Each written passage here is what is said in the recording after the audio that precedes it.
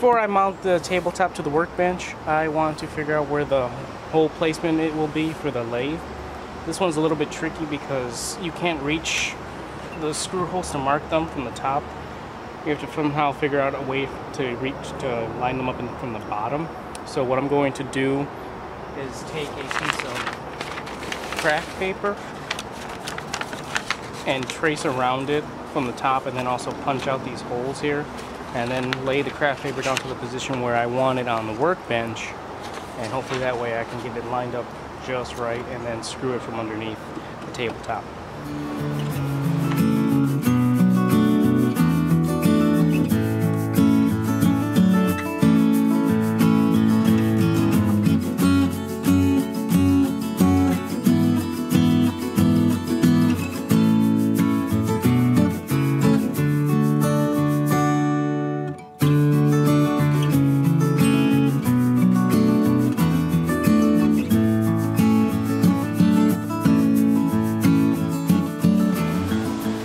In the end, I came out with something like this. It has the placement of the bolts where they're going to get threaded through.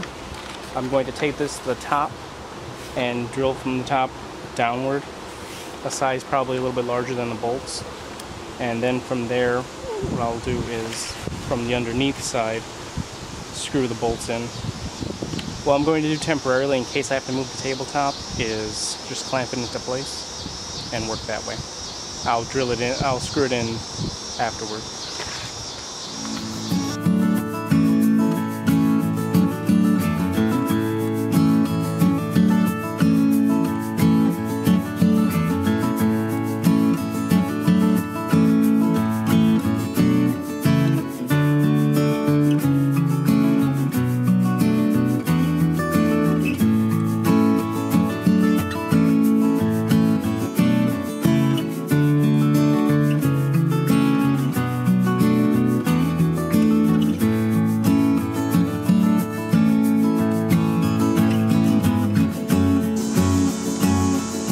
Now what this machine takes is an 8 millimeter threaded bolt coarse. I uh, found these out by just finding whatever bolts I had lying around and fitting them into place until I finally found the size. And then I went to the hardware store and made sure to get the correct um, exact measurement. I found out it was a metric 8 millimeter. So what I'm going to do is use a larger drill bit to give me some wiggle room in case I need it, in case these uh, holes aren't exactly lined up.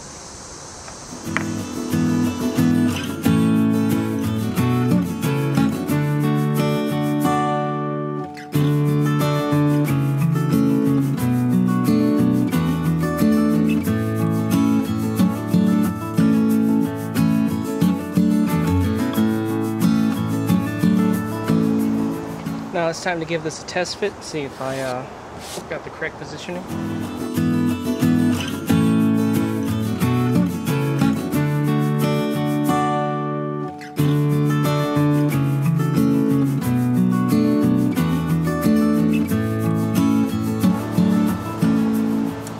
And there we go. I got it. It worked out right. This thing is nice and secure. It's not going to move anywhere. Now I'm going to correctly align the bench top and screw it into place.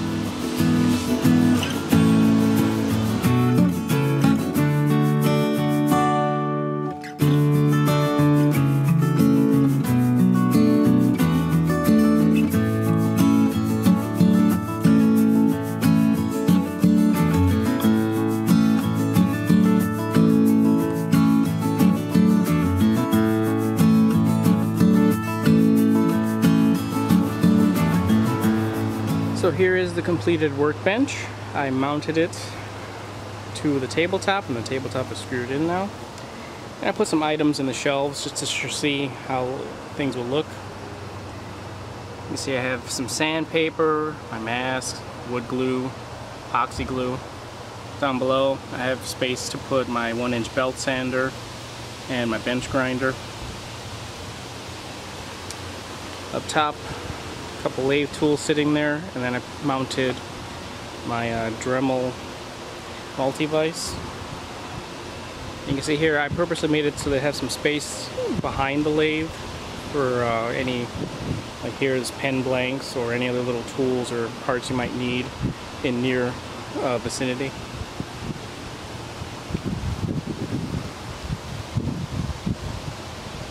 And then here I put a light here clamped to the top, tabletop that is. But it's probably going to be temporary. Um, I just have this here just to see how a mounted light would be. I probably wouldn't need it because of um, above lighting.